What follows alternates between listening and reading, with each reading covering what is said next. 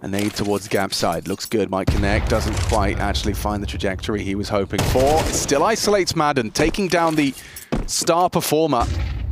28 and counting, Hugo, with the bomb on his back.